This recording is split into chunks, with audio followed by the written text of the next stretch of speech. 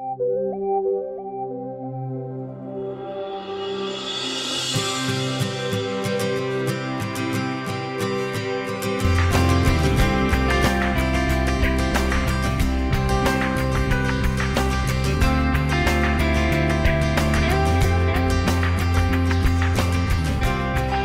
is our 11th season of Heuermann Lectures, and this is the kickoff le- uh, lecture for this season.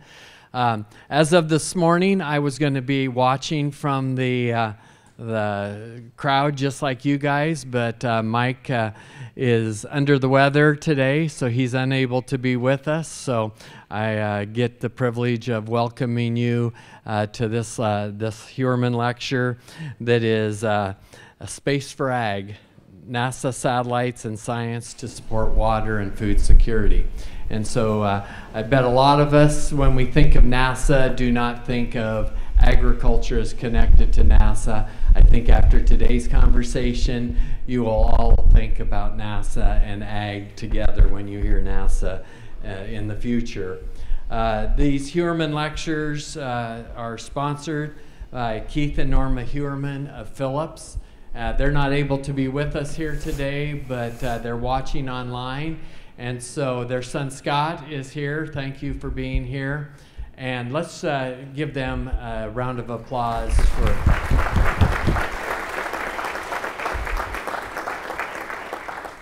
The 11 years of support that they've shown to this lecture series has enabled the Institute of Agriculture and Natural Resources to uh, focus on a wide variety of subjects. I see a lot of you here that have come uh, probably pretty religiously. There's maybe some of you that haven't missed a lecture over these 11 years, but uh, this uh, allows us to discuss timely topics in depth and get insight that uh, we normally wouldn't have from experts that come from not uh, the UNL campus, but from all over the world. And so that's been a very exciting time. Uh, the format of the lecture today, our keynote speaker, Karen St. Germain, will give about a 20 minute uh, uh, talk, and then we'll be joined by some panelists and have a Q&A session afterwards.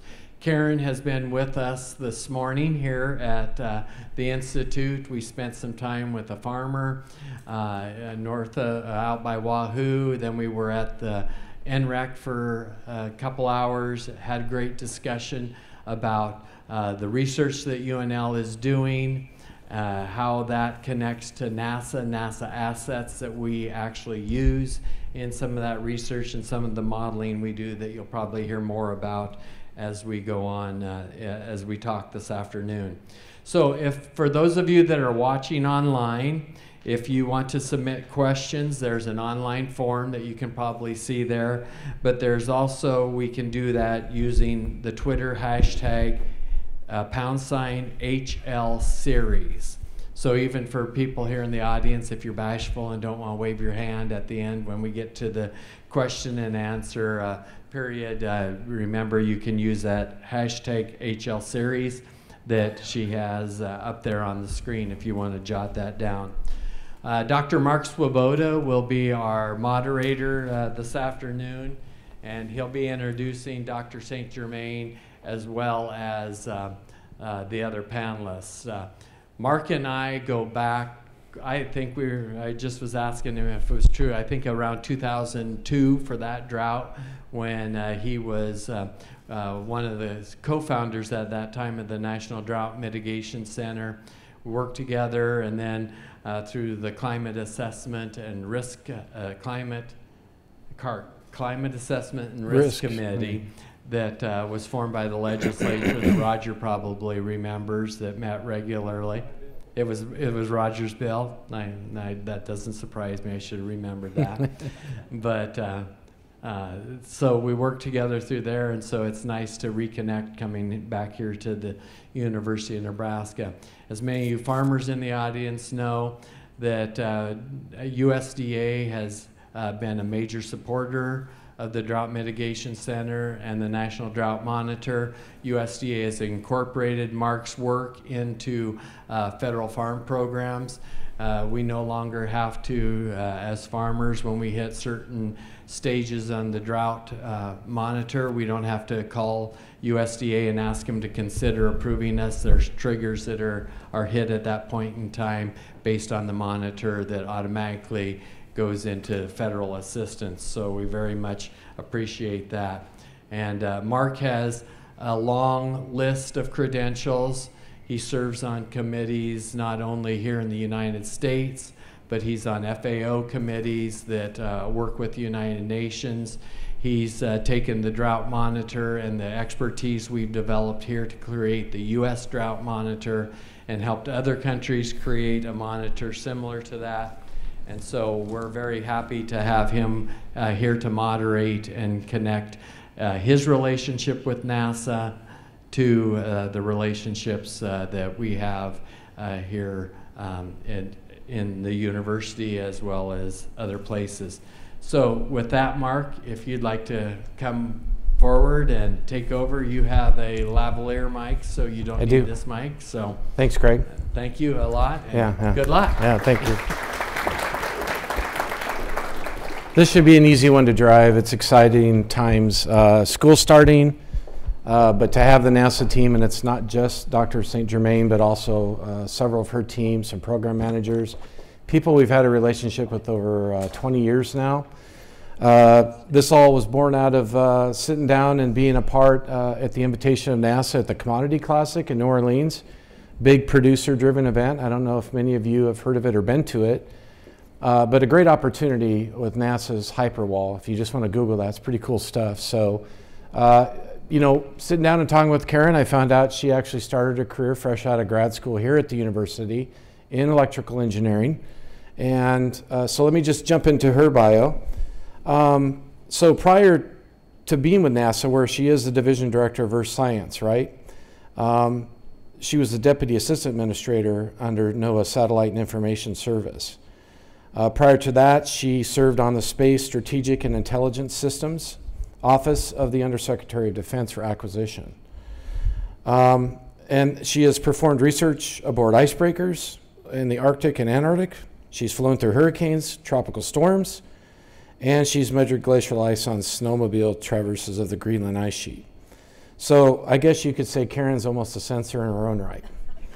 Um, so very impressive and very privileged to have her and her team here. Uh, great stuff. I, I, I, look forward to the conversation because she really wants to engage uh, you folks and, and, hear from you uh, what our needs are. So it's a good opportunity to speak up on that. Uh, let me also take the opportunity to introduce the panelists. So we get all the introductions out of the way, and then Karen's going to come up and, and give her spiel. And then the panelists will have a, a short five minute after that before the Q&A. So Brandon Hunnicutt, who's down here in the front row, uh, owner and partner of Hunnicutt Farms, also a member of the Nebraska, he's a vice chair of the Nebraska Corn Board, and also the National Corn Growers Association Board of Directors. So representing uh, Nebraska well out of south central Nebraska, mixed operation, corn, soybeans, uh, popcorn, et cetera. Uh, constantly trying to use the latest in technology to improve efficiencies and sustainability um, which resonates well with the mission of the Heuermann Lecture Series. It's all about sustainability and security. So I think you'll see that common theme woven in with all the speakers today, which will fit nice. If you're thinking, how does that fit into the Heuermann series? Um, I think it's a really logical fit. Uh, Brandon's role is to assess and implement ideas and practices in the areas of agronomy, sustainability, technology, and marketing. As the vice chair of Nebraska's Corn Board, he helps develop, carry out, and participate in programs of research, education, market development, promotion to enhance profitability and expand and demand the value of Nebraska corn and value added corn products. And then our uh, last panelist is going to be Jackson Stansell, uh, a native of Alabama, so uh, transplanted here to Nebraska. He has, through his master's work, developed a prototype uh, end-time fertigation management system software. So uh, he's the founder and CEO um, of, of this effort. He is now also a part-time PhD here at the university in bioengineering. And prior to that, he was at uh, Harvard University uh, in 2019 and engineering sciences. So I think you could say he's going to bring smart farming to us with his stuff here this afternoon. Um, and with that, I'm going to turn it over and have uh, Karen come up. If you help me welcome her to the stage.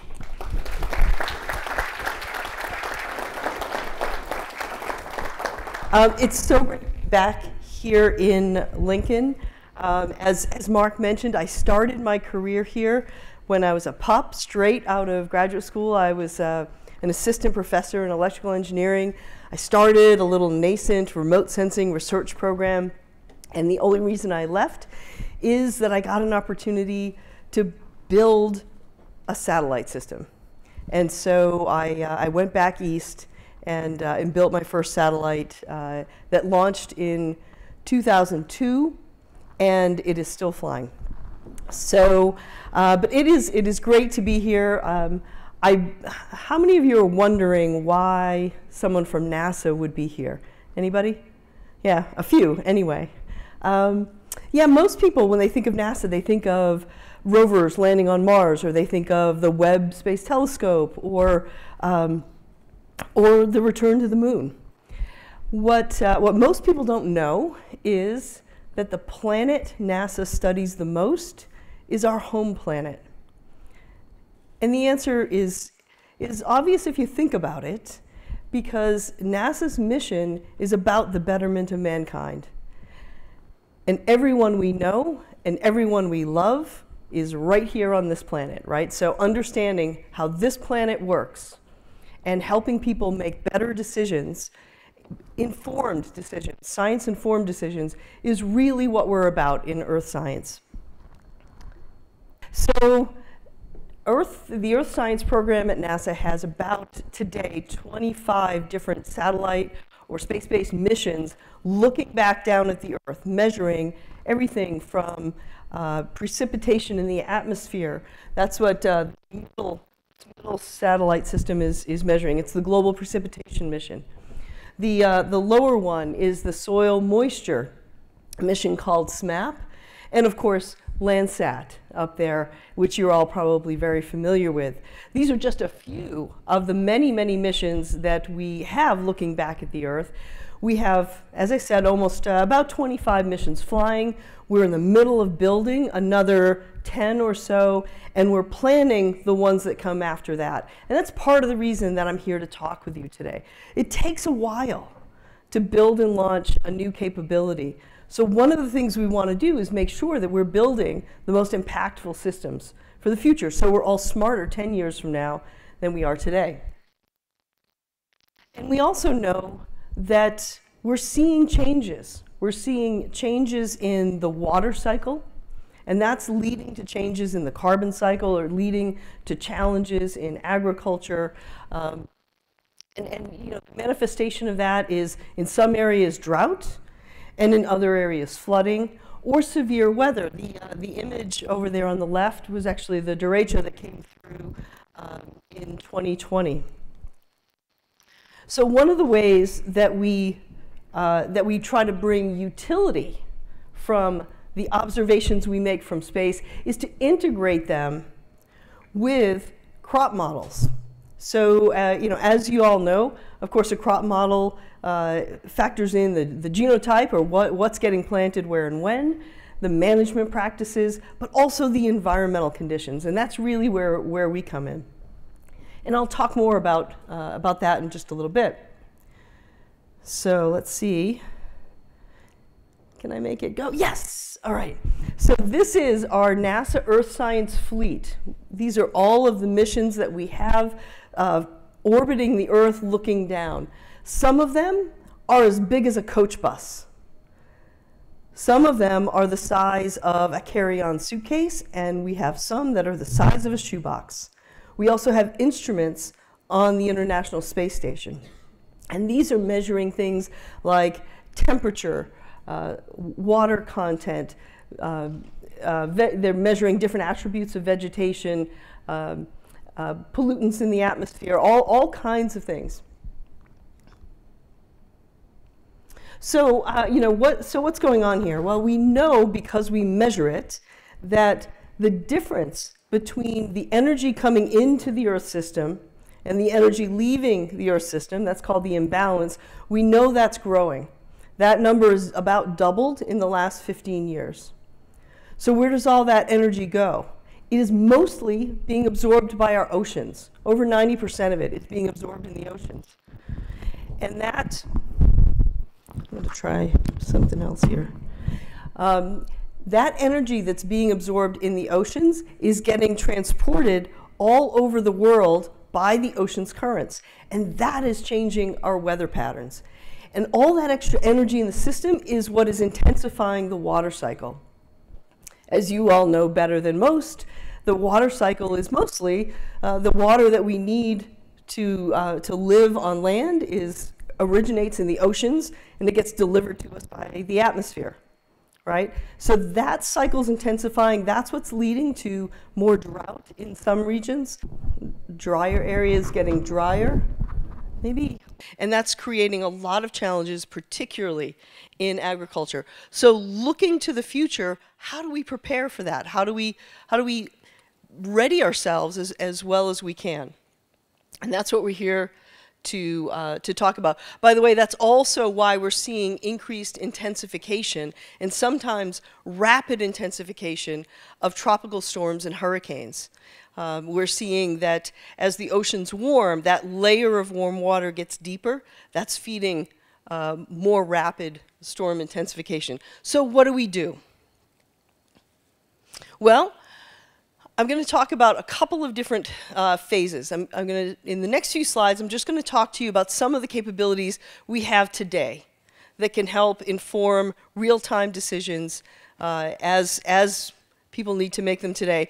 And then uh, in a little bit, in a few minutes, I'll, I'll take a look toward the future. So this plot is looking at monthly hail damage swaths across the Great Plains in the Midwest. The color coding is by month. And this kind of product, again, which is, is automatically uh, is derived from our satellite imagery, can help us really understand the, the patterns, the magnitude, the frequency, and the intensity of these events. We can also monitor drought from space. This is, I'm not going to lie, this is one of, this product comes from, mostly, from one of my favorite, favorite satellite systems. It's really cool.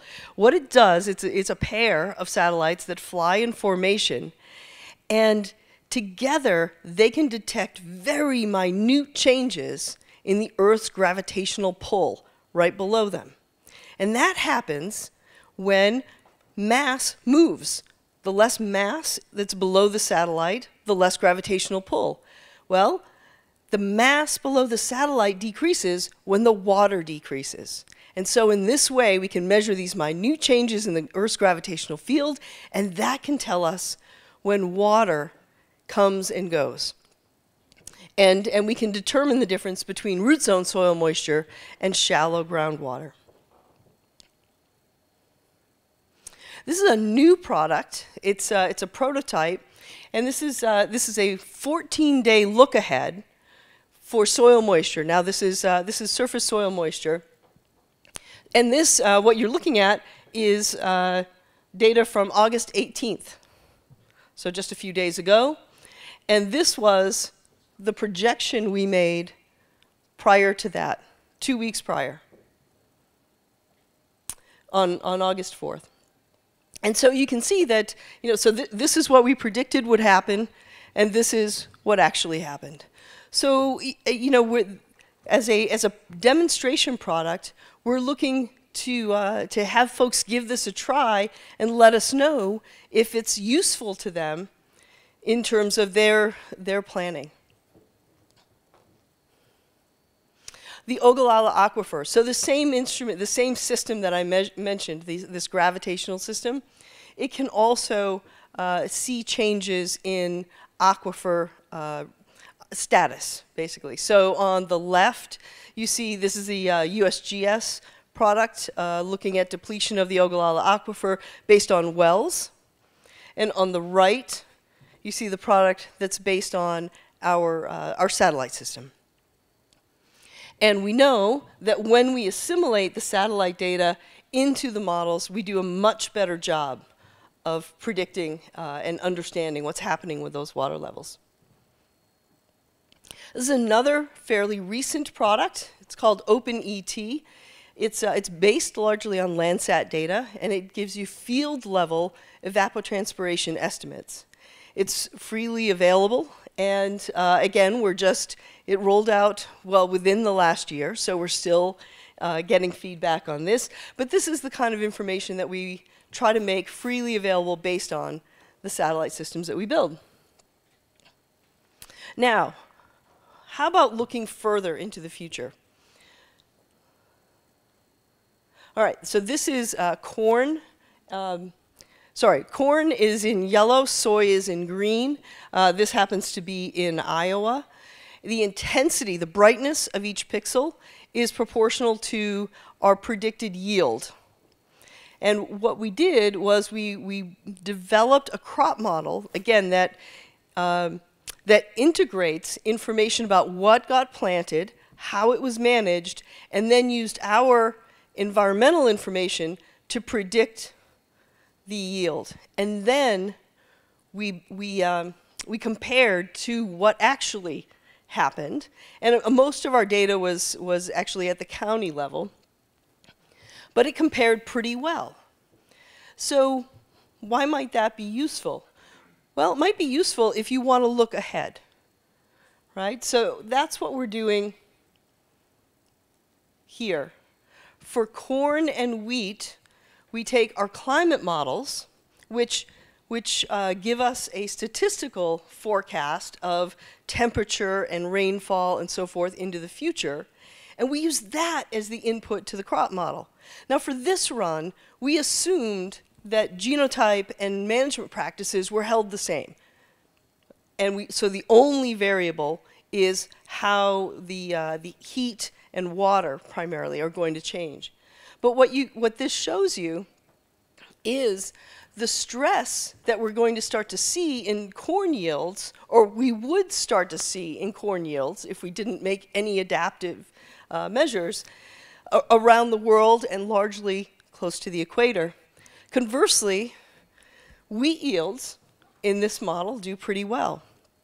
Now, I want to be really clear this is not a prediction at all, right? We are, uh, producers are already adapting what they plant, where they plant it, how they manage it. So it's not a, a predictive tool, it, but it is a projection tool that allows you to now start running if-then scenarios against what we think are going to be the growing conditions in the future.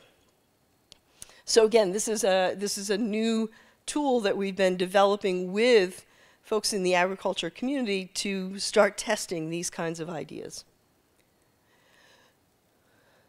So uh, this, is, this is my last slide, and this is just to show you um, each one of those dots represents a different observation that's being made by a different NASA satellite. Some of them are of the uh, ice in the Arctic, the atmosphere, the oceans, vegetation, soil moisture, but we're doing our best to character characterize the entire Earth as a system and then bring that understanding to help tackle local challenges. And so we're here today, and, uh, and, and quickly now we're going to get to the panel discussion, to really talk about how we can take what we do at the global level and at the regional level and make it impactful for people making decisions at the local level. And, and that always, always, always happens through partnerships, through the people who live and work here who know the most about the, the, the practices and the conditions uh, and so forth. So, um, so with that, I really look forward to the conversation and, uh, and with my fellow panelists. And, um, and after the initial panel discussion, we'll bring a couple more of our NASA experts up and we'll, uh, we'll have a good Q&A period. Thank you.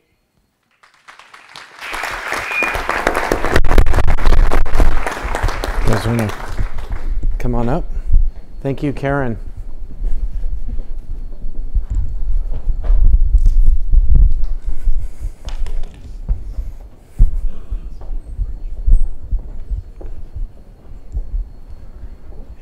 Karen, will have you sit in the middle here. Here? Yeah, in the center. Okay. Oh, stole your okay, so it's always hard to fo follow the NASA person and their graphics, so I'm going to try my best. Um, remote from you, Karen.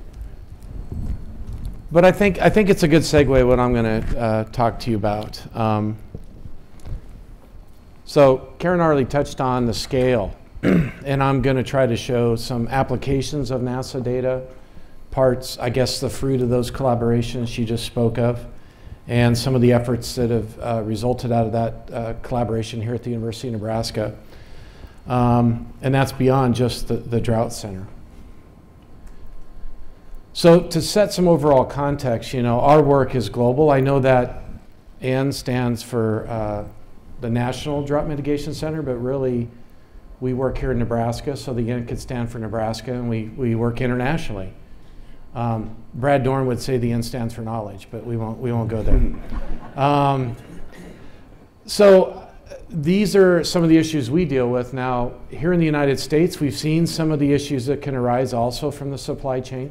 COVID's given us a good glimpse of what developing countries have gone through when it comes to getting food, healthcare, everything else delivered out on the ground in uh, developing countries. So there's a lot to motivate us and how do we better monitor those countries that don't have the luxury of the in situ networks that we have here, don't have the luxury of free data. And how do we do that? We integrate in a lot of NASA data and uh, from some of the, the European Space Agency as well to augment that, those in situ networks. And so I'm going to show you a few things here as we go forward. But drought is different than all the other hazards. It's got a, law, a potentially large spatial footprint and a really potentially long temporal footprint. It can, you know, floods, hurricanes, tornadoes. Think about it. Pretty small footprint, pretty short lived, then they're gone. Droughts can cover millions of square miles or hectares and can last months, years, or decades. We're seeing this in the western U.S. right now. We're not immune to it here in the United States. The drawdown of Lake Mead and Powell is alarming. The river was already over allocated. Um, there's no more room for any more straws in the drink. So we've come a long way in monitoring drought. This was one of the first drought maps out there. This was hand drawn, probably based on agricultural reports in from the U.S. Department of Agriculture. And ironically, a lot of the Drought Mitigation Center work and funding these days comes from the Office of Chief Economist. This was from the Bureau of Ag Economics. Um, so they've had a lot of skin in the game on drought before it kind of migrated out of the Weather Bureau within USDA into NOAA. So there's a good example of uh, the drought of, of 1934. Greg, do you remember that drought well? Out there around Sumner. Um, this became the state of the art in the 50s with the advent of the Palmer Drought Severity Index, but it was really the only show in town. One index very coarse resolution. Those are called climate divisions, which are really crop reporting areas for a lot of, of the states, not all of them. But they mimicked a lot of what was coming out of the lineage of the USDA, because Wayne Palmer worked, worked in the Weather Bureau there at the USDA. So, very coarse resolution, right? Well, this is when we came along and worked on this new product called the Drought Monitor, which has evolved a lot from that first day. Um, that was not done in GIS, Geographic Information System. That was uh, truly, truly hand drawn. I won't even tell you the package because it's kind of embarrassing. Um, but we've come a long ways. This is the map where we are today, and how it's made is immensely different. We had five or six inputs when we started in the late 90s, and now we have over 50. Um, and you can see the degree of resolution is thanks to improving our accuracy is augmenting our in situ network, which we'll never have enough of, never have a dense enough network, never have it spatially uh, perfect the way you would want it optimally. So we use satellite data and models to augment that in situ network. But we need both. The in situ data validates the NASA products that Karen just showed. Can we trust them? Can I trust them where I don't have any data because I know they perform well where I do have data? Same with the models, the land data assimilation system models. Going to show you examples of these in a minute. So this is our state of the science. This is hosted here at the University of Nebraska at the Drought Mitigation Center. We're in the School of Natural Resources. Uh, but it is a partnership with USDA and NOAA up front. So the authorship rotates between those groups. And what we're trying to do is capture the elements of the hydrologic cycle. So a lot of those products you just saw fit a piece of this hydrologic system, particularly on the groundwater. You know, the Grace Advent, in fact, a little factoid, we worked with Matt Rodell, Dr. Wardlow, Dr. Tsegaye, Tadesse, myself, uh, the Drought Center team, and others uh, on the Grace, validating the Grace. You can it from a drought perspective, did a lot of iterations uh, in the early stages of Grace to get it where it is now. And we actually host the website uh, for NASA on that particular product. And so that's a real privilege to do that in partnership with, with NASA.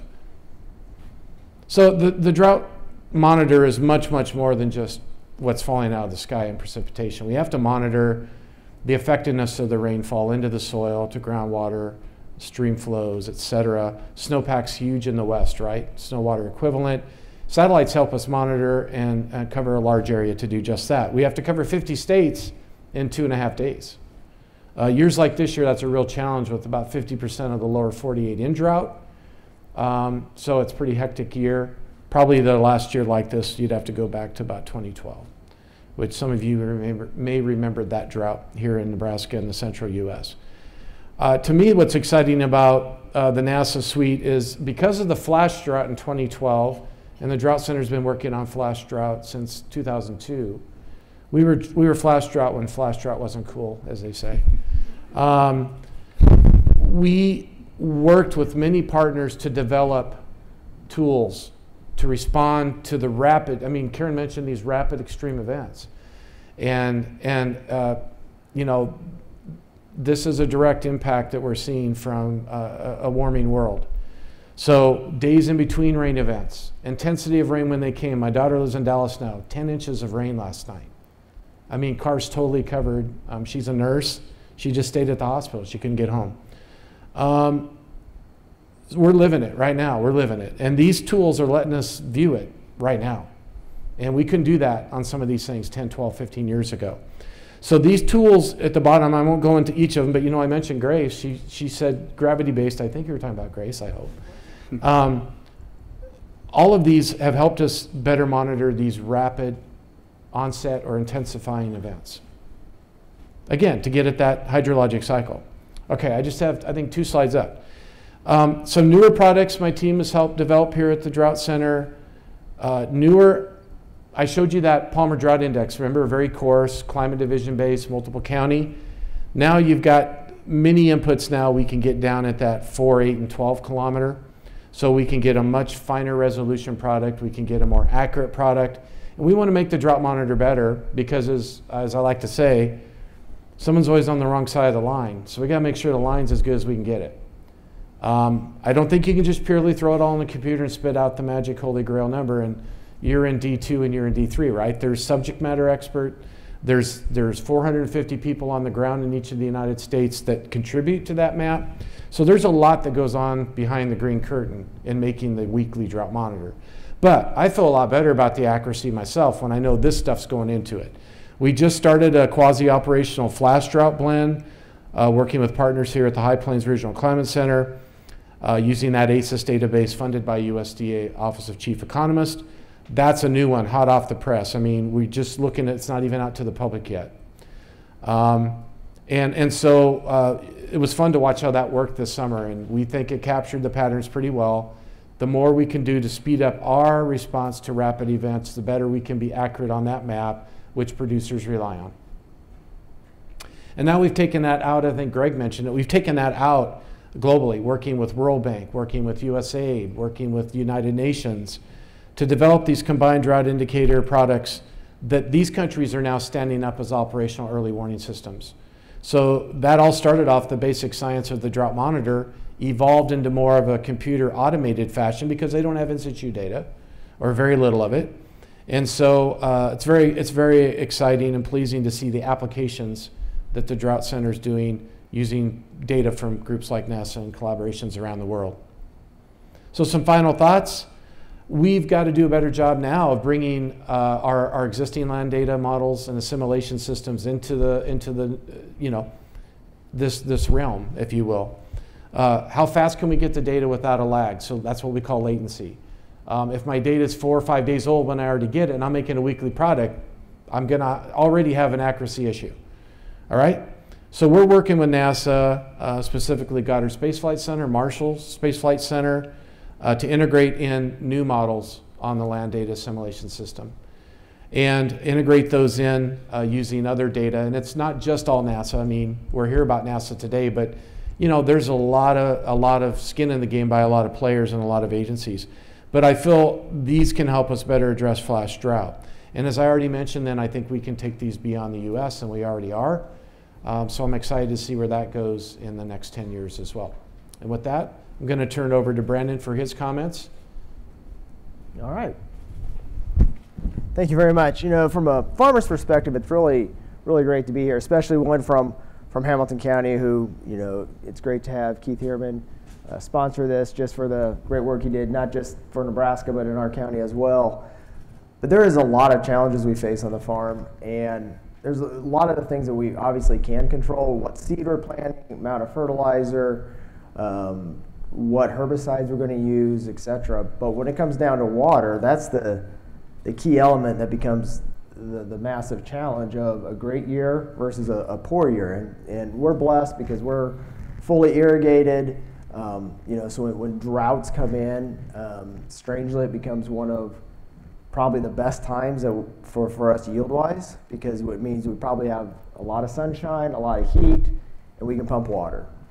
But what we learned um, from my, my perspective on the farm is when I came back to the farm in in uh, 1999, I believe. It was, we were monitoring our, our soil moisture. We were doing some things the, the old fashioned way, the hand field, hand field test, you know, trying to figure out how much we need to water, listen to the radio station, see what the ET was, and learned very quickly that a lot of that wasn't accurate. Um, and we got more involved with that working with UNL on some very the beginning stages of using soil mo moisture monitoring, monitoring systems, just little little soil probes that we're putting out there, and they, they, were they worked well because they gave us the initial look at what's going on in the soil and what's going on in the water. And we've slowly moved through that to try to figure out how do we get to the point that we can better time and better place water. But our challenge becomes is that if we're using a probe, we're in one static point in the field. Well, is that your is that your best area, your worst area, the average area? Do you have multiple soil types, which we really don't have in our area? So there's some of that we're blessed with. Um, so we, we integrate to the net, we, we upgrade to the next next platform, which is more data points as the pivot goes around. But that still becomes a challenge because you're still in a really small area trying to figure out what's going on.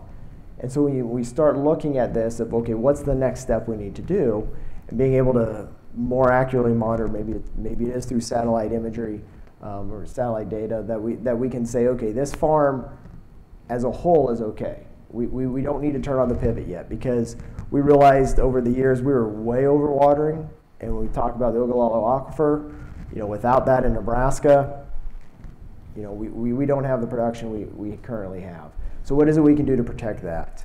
Um, from, from the perspective of looking ahead, and that, that's one that caught my eye because if, if we have a 14 day look ahead, okay, now we can start making some some decisions, and th- those become real decisions on whether it's it's water, whether it's fertilizer, whether it's it's a fungicide, whatever the case might be. But looking at it, going, okay, what is it that we can do to impact the farm in a positive way?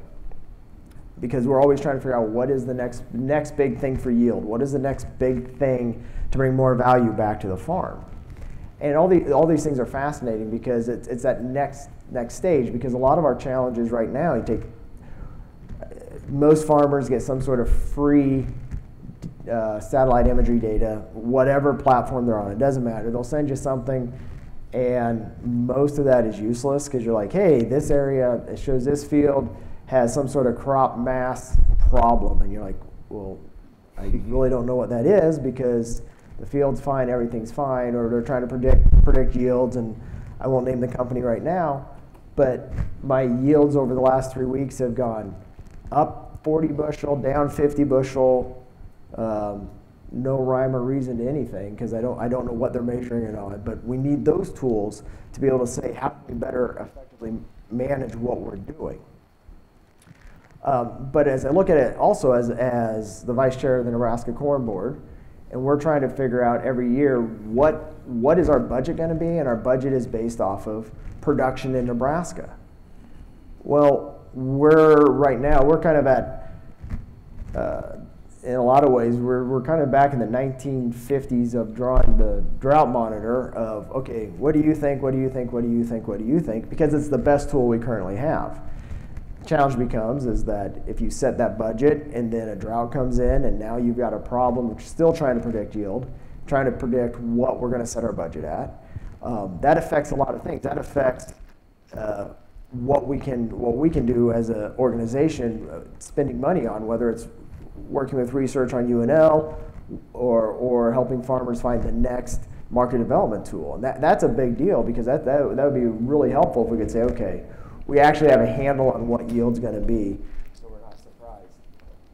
Um, and then from, from a national perspective, you know, we, we deal with a lot of farmers. We're representing farmers, roughly 40,000 dues-paying members, and, and being able to most effectively help them as well to say, this is what we're looking out for. This is how we're, we're, we're utilizing um, your, your dollars into a national organization to protect the way of farming. And, and a lot of this comes down to how are, how are we going to mitigate these risks of, of um, adverse weather, weather factors, you know, so whether it's uh, our neighbors in our, far, our farmer friends in Ohio that were planting in June for the first time because in pure mud because it was raining too much, or the guys here in central Nebraska that held off a planting by a week, not because not because of rain, but it was too dry and too cold.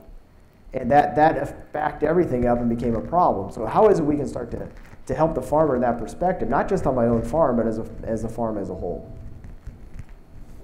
Thanks, Brandon. All yours. Awesome. Um, so it's great to be here. Uh, glad to see a lot of people in the audience uh, that I've been fortunate enough to spend time with. Um, so I'm Jackson Stansell. I'm the founder and CEO of Sentinel Fertigation. I'm also a PhD student uh, here at the University of Nebraska. Uh, Sentinel Fertigation, to give you a little bit of context, uh, we are an image-based fertigation scheduling company. Uh, so what we are uh, really trying to do is, uh, as Brandon mentioned, kind of take the next step beyond the free satellite imagery uh, that a lot of growers get through various different platforms, and actually take that satellite imagery and turn it into not only insights and analytics, but also a decision recommendation that a farmer can take and essentially choose what to do with, and hopefully help them inform their management practices. Um, we're also kind of taking uh, taking steps toward making headway to identifying a specific problem uh, and not just generally having uh, kind of a biomass quantification, uh, like Brandon mentioned, which is where a lot of our satellite products has been. It's, it's, it's been, you know, we can see problems in different areas of the field, uh, but, the, but the question is, until you can get out there and, and ground truth that, what really is that problem and how do we respond to it? Um, so the research and technology behind our, our, company came out of my master's work here at UNL, and I won't get too far into that, and we can maybe get to it in the Q&A if anybody is, is interested. Um, but I, I want to kind of look at, I guess, what I'm seeing as far as trends uh, in, the, in the context in the agricultural industry. Um, so three things that, I, that I've really been seeing over the past few weeks um, and really past few months and, and years even uh, is becoming big trends in the agricultural industry are number one, regenerative agriculture. Uh, there are a lot of farmers here in Nebraska that are starting to uh, adopt regenerative practices. Uh, Nebraska's been no-till for a long time, and so that's that's nothing new here. But there have been a lot of uh, cover crops uh, that farmers have been starting to use. Uh, farmers are starting to undertake biological fertilizers, which is totally changing how folks are doing their nitrogen management.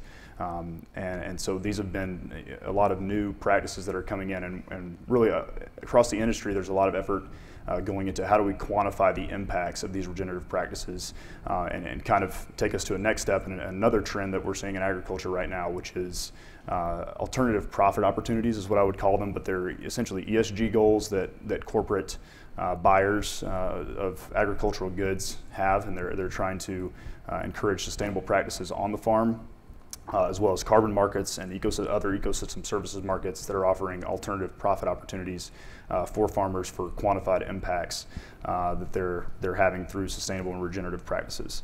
Um, another trend that I'm seeing out there is, is a willingness uh, for farmers to engage in more intensive management to overcome a lot of the risks that we're seeing from climate change, uh, and also some of our production production uh, practices over the past 40, 50 years uh, with herbicides. Uh, farmers going back to uh, intensive cultivation to get rid of weeds, farmers going to multiple split applications of fertilizer to both protect themselves against risk as well as increase the efficiency uh, in their crops. And so these are all big things uh, that, that farmers are trying to push towards, but they all come back to being able to essentially quantify uh, crop production a little bit better and, and, different things that are going on in the field. And so data is uh, an extremely important part of agriculture at this point.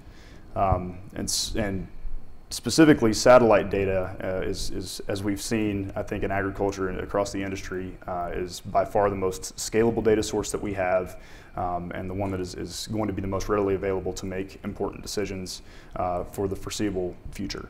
Um, so in agriculture, what we really need for intensive man uh, management through monitoring uh, and decision making um, is we need essentially the right spectral response in our satellites to be able to quantify vegetation. Uh, we need really, really high throughput data, uh, both from a spatial resolution standpoint as well as a temporal resolution standpoint. Uh, for Sentinel, we are making uh, decisions every single time that an image comes into our system. Uh, and so we are ingesting satellite imagery on a, a near daily to daily basis uh, right now and making decisions uh, that quickly. And, and our farmers are actually looking at, at the platform every single day to see if there's something new uh, that's coming across that system. Farmers want this data and they want it in real time. Uh, so the way that, the, that we're accomplishing that right now is by working with a couple of commercial partners. Uh, we're working with Planet, uh, that's supplying the near daily satellite imagery uh, at three meter per pixel resolution, including both the red edge and near infrared bands, which are critical to us for quantifying the normalized difference red edge index, which is what we use to, to correlate back to nitrogen status and quantify crop nitrogen status. We're also working with Airbus, uh, and we're early adopters of their new Pleiades Neo constellation, uh, which is producing 30 centimeter per pixel pan sharpened uh, multispectral imagery uh, that really allows us to, to do some excellent quantification of crop nitrogen status. Uh, and a lot of our, our farmers have responded really, really well uh, to having that imagery in the platform, not only from a nitrogen standpoint, but as well as the uh, ancillary benefits of being able to identify uh, sprinkler performance along pivots, being able to identify areas of their crop that have been blown down potentially by strong winds. and so there are a lot of other ancillary benefits to this imagery. Um, and so I guess uh, I'd like to, since that's mostly just a lot of context provided there, I just want to kind of finish up with one final thought uh, that I've been thinking about, especially with the Ukraine and Russia situation that we've all watched uh, play out and how it's affected agricultural markets, both from a commodity standpoint uh, as well as from uh, an input supply standpoint. Uh, agriculture and national security are not, not mutually exclusive. these are critically linked topics. Um, and, and, I think that's a perfect reason why NASA, as kind of a you know a U.S. agency, uh, should be playing in the agriculture space. Um, and I think it's it's critical to national security that we continue to improve our data sets and the way in which we can quantify what's going on uh, on the farm. Um, and and I would also go kind of back to the Heuermann lecture mission, right, which is sustainability and security, I believe is what I heard earlier. I think sustainability really is security, and we've got to preserve our natural resources uh, in order to, to preserve really our most valuable asset as a country. Um, and I think a lot of countries feel the same way. And so if agriculture has an outsized impact on our natural resources, um, this is a, it's a really important thing to get right for preserving those natural resources long term. So with that, that's kind of all that I, I have to say, and I'll turn it back over to Mark. Thanks, Jackson. And please join me in thanking the panelists for their comments too.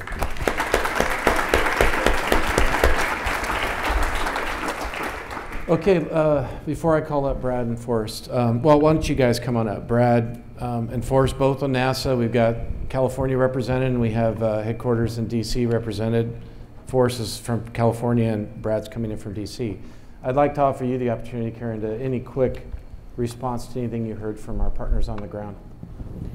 Uh, yeah, I, I think um, what you both said is, is part of, uh, we, we, we spent the day traveling uh, around uh, the area and, and talking with um, with farmers and and uh, and experts, and we heard a lot of those same themes, right? So it's taking what uh, what we can see from space, scaling it, making sure it's accurate, and making sure it's usable to inform decisions. Um, so yeah, I think it's. I think your your comments were really in, insightful, and I absolutely agree with you. Part of I didn't really focus on it in in my talk, but. Um, but yeah, that one of the great things about uh, satellites and that unique vantage point of space is that we can see the entire globe. And that means we have insight into what's going on in Ukraine and Russia and so forth. And, uh, and, and we can understand, again, not what's, just what's happening here, but what's happening in other countries and how that may have an impact uh, on what's happening here. So thanks. All right, thank you, thank you, Karen. Um, okay, at this point, we're going to open it up for questions, and Jesse's going to run around with the mic. And, and please uh, identify your name, if you could, for the people online as well. Thanks. My name is Don Nelson. I'm from Lincoln. Could one of you explain or contrast the difference in the platforms and the programs that you're dealing with at NASA and those up in South Dakota with the EROS program?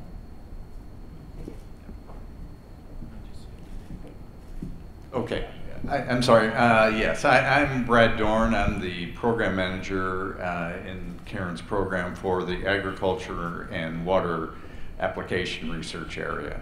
So um, thanks for bringing up Eros. Eros uh, is a, a key uh, partner of ours. Uh, we actually work with them. They are a USGS facility.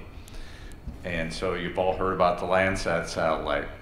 All NASA develops, launches uh, that satellite, and then when it's operational, it turns it over to USGS. USGS then operates that satellite uh, but NASA does have a backup operational system in Goddard. But we operate that satellite, um, USGS does, out of EROS Data Center, and they store all that Landsat data. And they're also a DAAC, which is an archive uh, partner of NASA. So it is a USGS facility, but we have a very tight and close relationship with them. Uh, you want to clarify that? Anything I said on that? Go ahead.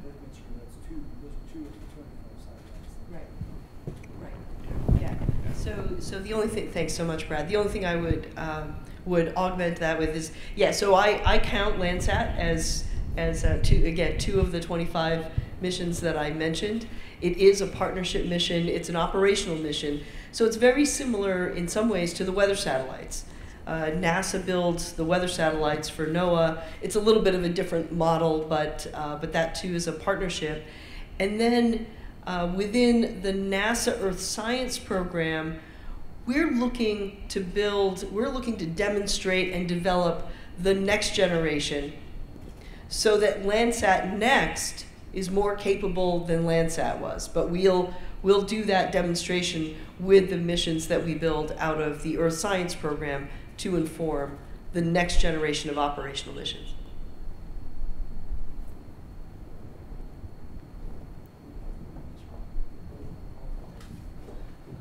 Just one thing to add, one thing that the USGS and NASA programs all have in common is the data, data is freely and publicly available to all users. And one of the things I'm excited about is companies like Jackson starting to use and consume those products and develop applications for farmers, for producers in the field that help them manage resources in way that, ways that reduce input costs and improve their overall profit, profitability and sustainability. Oh, thank you. And I'm Forrest Melton. I'm a research scientist out of NASA Ames Research Center and the program scientist for the NASA Western Water Applications Office. Hi, I'm Matt Hammonds from Lincoln. I wondered if you could comment on a couple of things. The First Street Foundation's recent report about the extreme heat zone that goes up in the middle of the U.S. Um, just commenting on, on that prediction of, of does that align with other things that you've seen? And then also talk a bit about the role of an organization like First Street Foundation, which I'd never, never heard of before, as it relates to academia, government, producers, and industry. Okay, I'm in the hot seat now.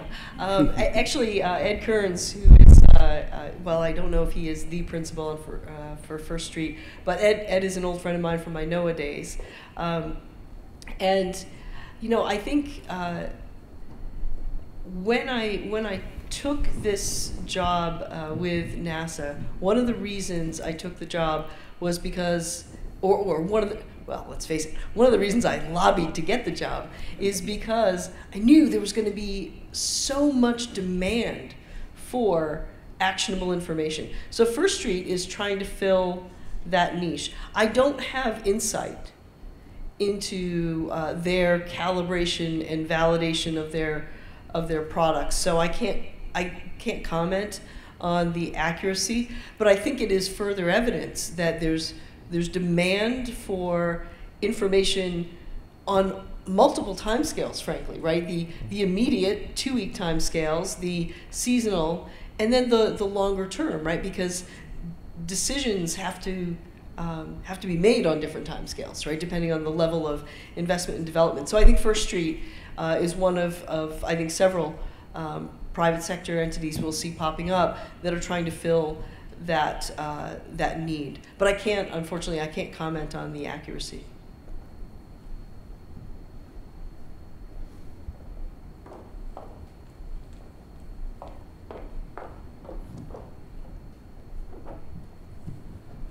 Hi, my name is Amit. What I wanted to understand that you talked about uh, nitrogen management, especially having the red edge by using the satellite imagery going in the NIR band. But from the nitrogen perspective, especially when the cones are mature on 70 days, nitrogen stress are coming from the bottom leaf side. How you are able to identify that from the top at that particular time? Oh, I guess I have a mic, don't I? We've been passing the mic back and forth. I'm like, get my no. Um, so essentially what, what we're looking at is we have infield calibration plots. That's part of our, our fundamental uh, part of our fundamental framework. Uh, we locate those strategically. It's kind of a zone sampling based approach. Um, and what we've seen is that we're able to see differentiation in, in, photosynthetic rate, which is essentially what you're quantifying, right, when you're using a vegetation index, um, between these different nitrogen rates uh, and, and essentially a very small differentiation range. Um, and so what you're really seeing, even, even though nitrogen stress is coming, yes, from the bottom of the plant, there's an impact on photosynthetic rate that the plant will start to expose um, you know, due to any sort of nitrogen stress there. And so with having these, these offset rates, we can be predictive without having to fully see the bottom of the canopy. Higher resolution imagery helps us get deeper into the canopy. Obviously, 30 centimeters still isn't going to get it done. I mean, you need to get down to probably one and a half, two centimeters to really be able to see that. Uh, the issue is scalability with, with drones, right? And so that's, that's how we're, we're trying to manage around it, do it at scale, uh, and still quantify well. I have several questions that came in online that I'll ask. This one's through Twitter. I think we have quite a few students who are in the audience today. So the question is how have careers in these fields changed, and how do young people prepare for these changing career opportunities?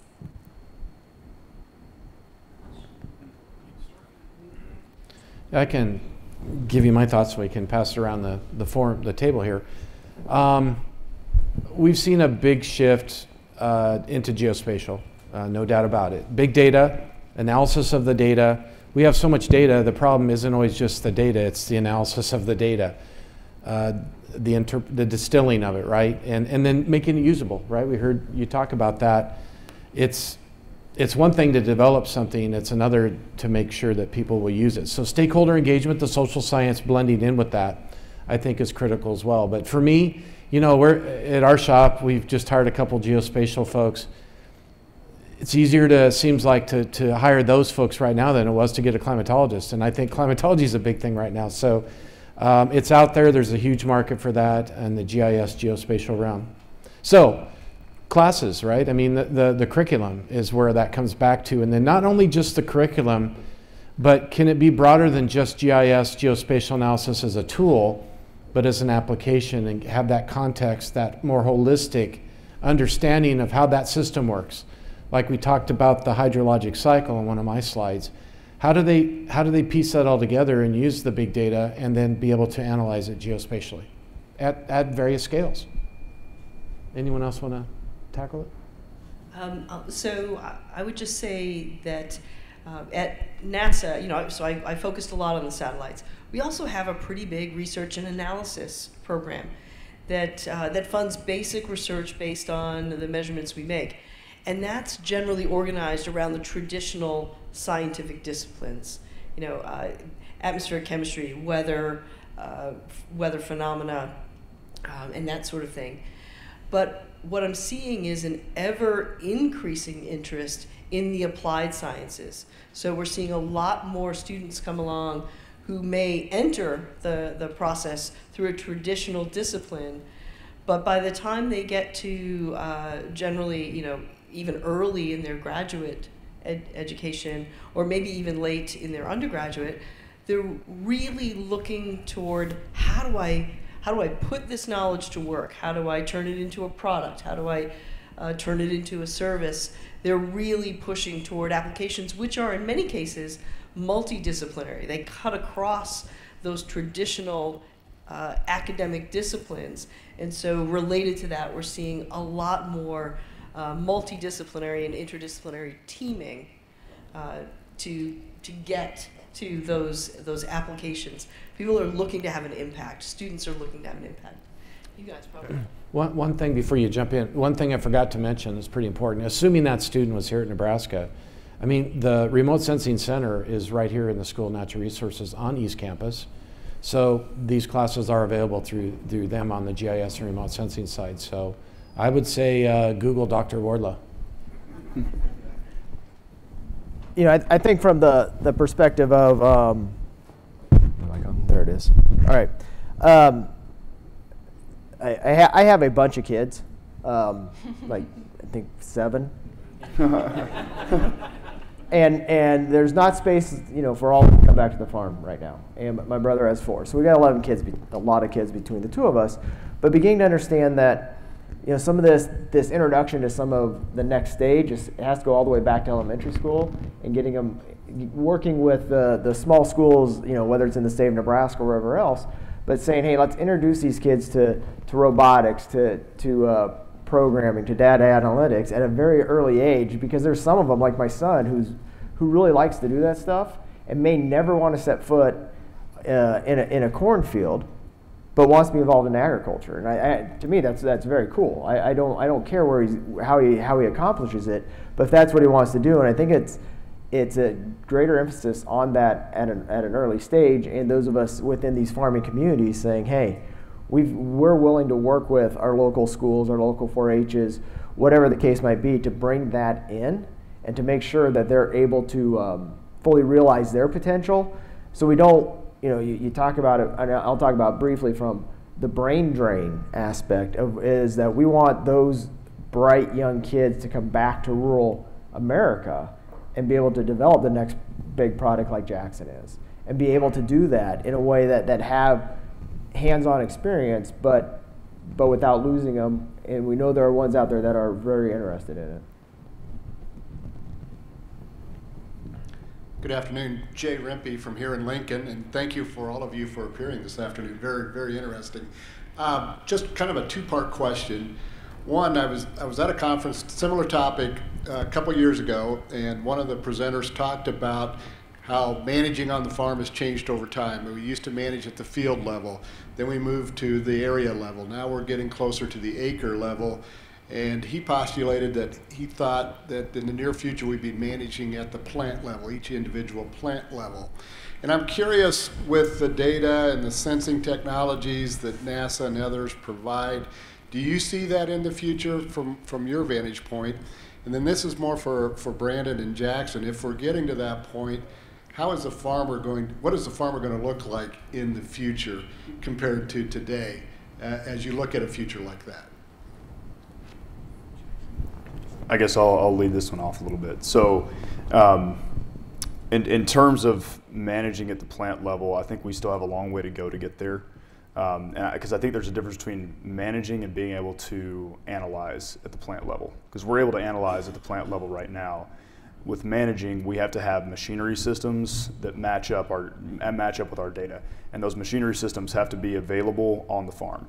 And to me, the machinery systems being available on the farm is what we aren't quite uh, there with yet.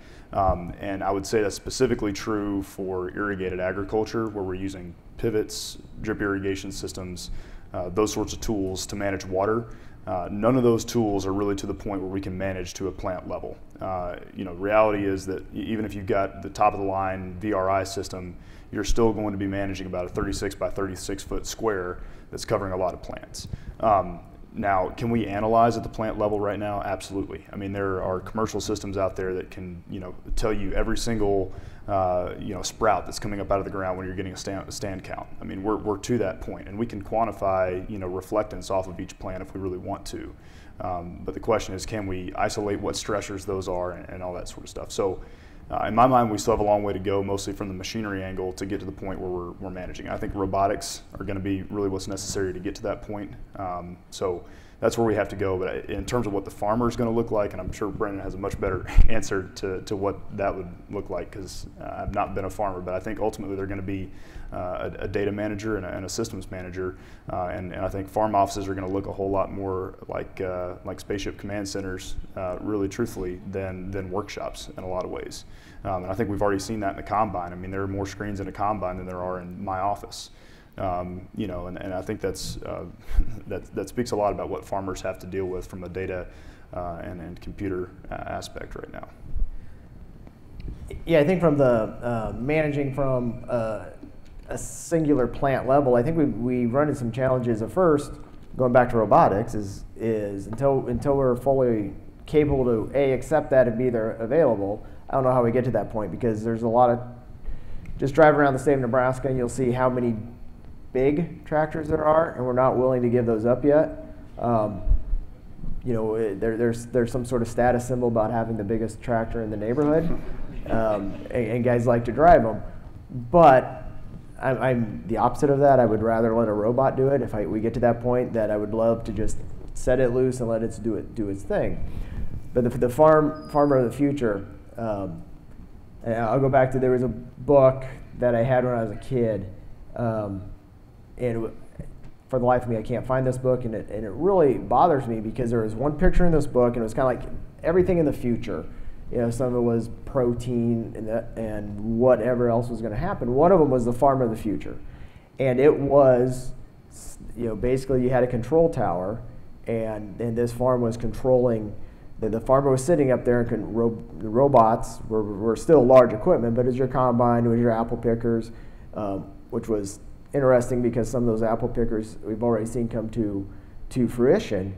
But being able to run that from from, in this case, a control tower, but I think it would be running it from the phone, obviously, in, in, in our case. But I think it's going to have to be a lot more hands-on of understanding, you know, the data that goes around the farm, how to, how to implement the, the important practices to, to maintain yield and, and you know, whatever, whatever carbon market or whatever the next stage is of that you're involved with and really really having to dig deeper into into the science aspect of it than we have in the past because um, a lot of us can manage the, the basics out there. I mean, I'm pretty sure I could probably turn my nine year old loose and said, I, I need this, this, and this done to raise a corn crop, figure it out, and she could probably do it. Um, but to get to that next level, to truly understand what that, what that means to, to really manage that plant, it's gonna, it's gonna be a big change. And, you know, we've got college students in here. I mean, this is gonna be right in their wheelhouse of learning all of this you know, those of us that have been around for a while, you know, it's probably going to pass us by. I just want to make one quick comment and give this to Forrest too, because uh, of this experience out in the field. But I think this is personifies why we're here. NASA's here, in that you know we're we need to figure out what's NASA, what's space role in those new mechanized systems. We're not going to do it. You know, the farmer's going to do it. The ag industry is going to do it what's NASA's role? How do we support that? What type of data Uh, and sometimes, you know, what type of, you know, what does uh, your nation's space agency need to do in this space to make sure we're confident and comfortable and have trust in this information? I'll just name one thing we're doing now. It's a small uh, one. It's a pretty big thing. It's just small as we lead into this new era, and that is one. Karen runs lots of programs she didn't have time to talk about. One of them is we're buying a lot of commercial satellite data, including planet data, and evaluating it. Is it really doing uh, what we think it can do? Maybe it can do more. Uh, that's why they're teaming with us. So part of our job is to evaluate all these systems, not just what NASA launches up there, but on these other systems. So this is why we uh, are so interested in having these conversations because that's going to help us understand what's NASA's role need to be? How do we need to integrate our data? We had a lot of talk just this morning on how to integrate our data into decision-making systems on the farm. So uh, it's, it's a great topic, and I, I look forward to the next few years of really talking, getting more detail on this. But I'm sure Forrest has a few comments. I'll just say that a big part of this trip for us is listening and learning. And I think one of the things we heard clearly on our visit this morning was that folks were looking for information products that help them make a decision, not information products that tell them what to do. And I think whatever the farm of the future looks like, there will always be a role for the knowledge and experience of the individual farmer and producer.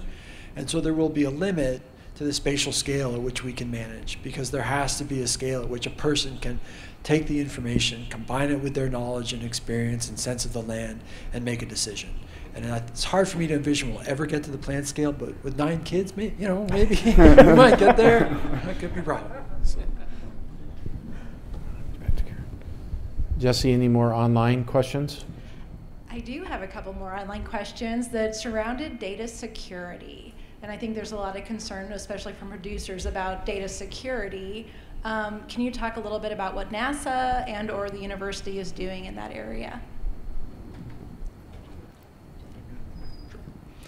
Yeah, we, we, we definitely realize if our data is going to be useful, all of a sudden it's we're going to have data security issues uh, and, and there's going to be sensitivities and we do definitely understand that we understand there's uh, there has been uh, groups organizations and also commercial entities that have solved these problems made it more confident this is a new space for us uh, um, but it, it's also one that kind of tells us we're getting relevant when people are concerned about that. But uh, we're dedicated to making sure one, our data is freely open and available to all all farmers, all producers. Yeah, uh, that's our, our role in the, in the federal government.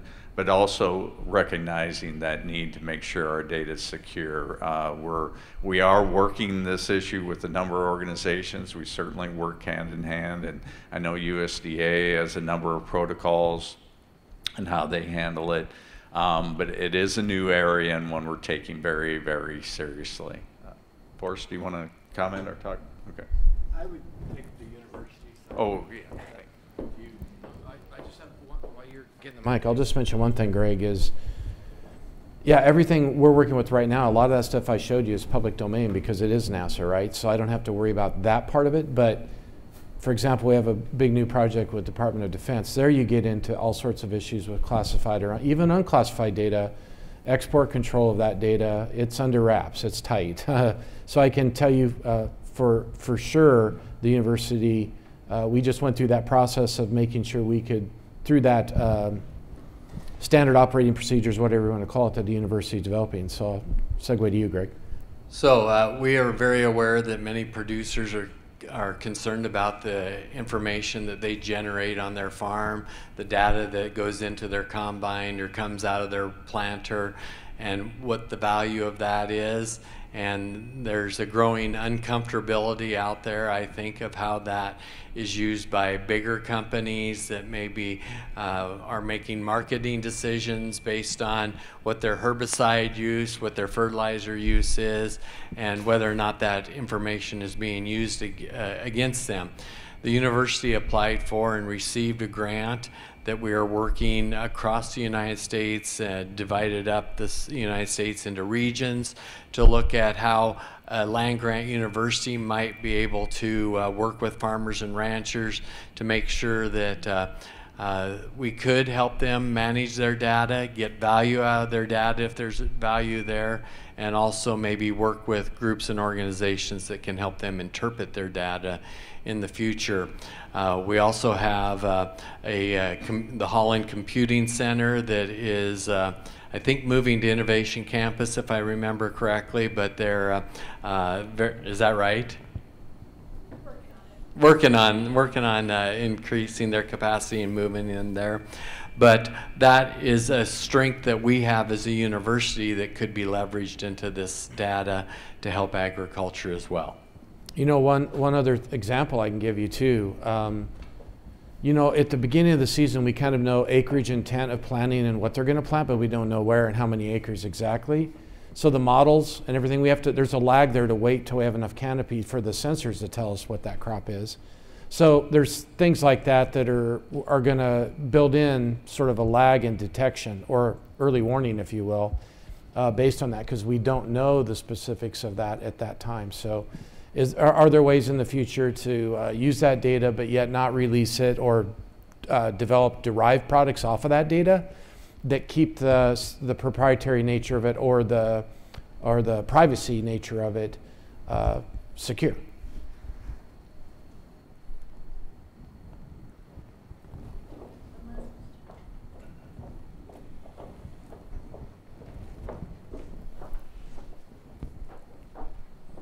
Hi, my name is Mike Shugru, an agronomist from here in Lincoln. Uh, appreciate this opportunity to uh, have this Q&A session and, and, have the information sharing that's going on. Um, a question concerning carbon. You know, that's, that's the hot topic in ag right now. Do you currently have the ability to measure soil carbon like you do soil moisture and, and from a satellite perspective versus soil testing?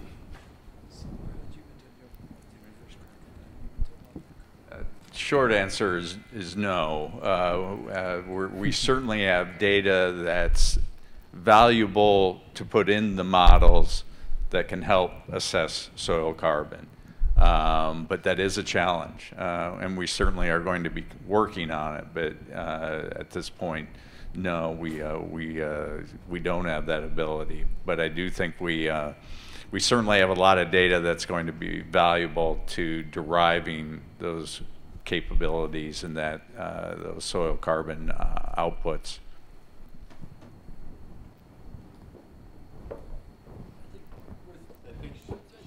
Yeah, worth men mentioning, I think that a lot of the facilities here uh, and um, that are run by the University of Nebraska are really important to helping develop the science and figuring out how we combine satellite data with in situ data to provide a, uh, an ability to calculate soil carbon at an acceptable level of accuracy. So um, we were lucky enough to go out and see some of the sites that we've used, that I've used in the past to uh, assess the accuracy of different satellite data products.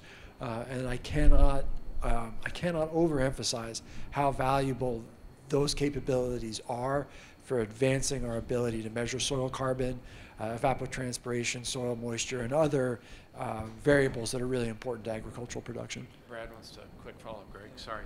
Yeah, th this morning we had such a great conversation about this topic, and, and one of the issues what they're realizing is at some point we're going to have to scale whatever those sensors are saying to a larger area, and we understand that capability is going to be satellite imagery. So that interaction, just like Forrest said, the discussion with uh, UNL and other labs around the country of understanding then how do we do that with satellite imagery, combined obviously with uh, the ground sensors, will be, I think that, it, that will be how we move forward with uh, assessing soil health and doing it in a way that's consistent across the country for the markets, for you know whatever we put out there.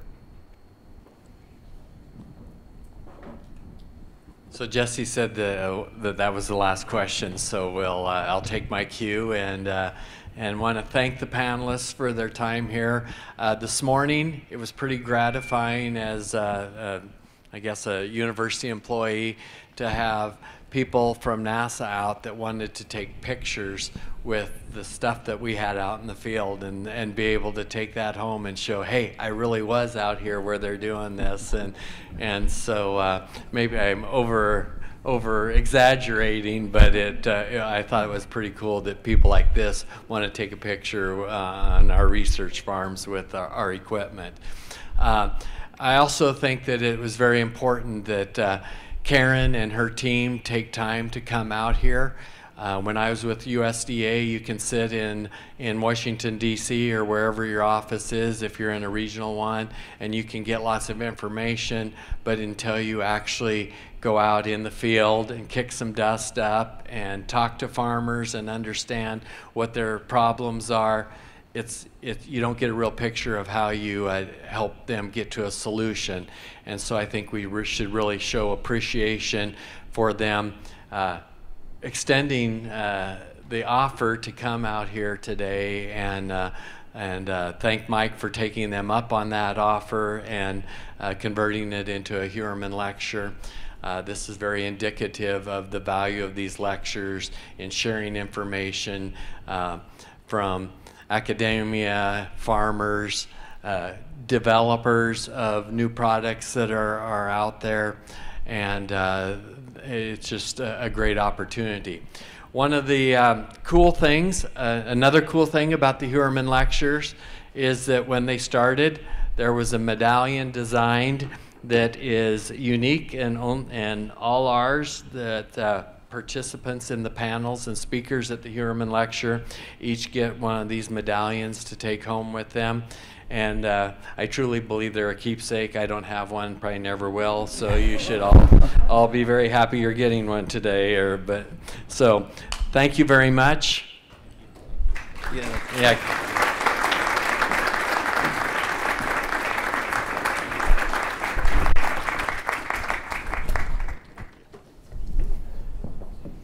So you already gave everybody a hand for being here today, but uh, I think this was a great lecture. Thank you for attending. Thank you for those of you that are online attending and submitting questions. I'm sure we could have gone on longer for questions, uh, but you know, all good things have to come to an end, I believe. And so thank you uh, again, and uh, have a safe trip home.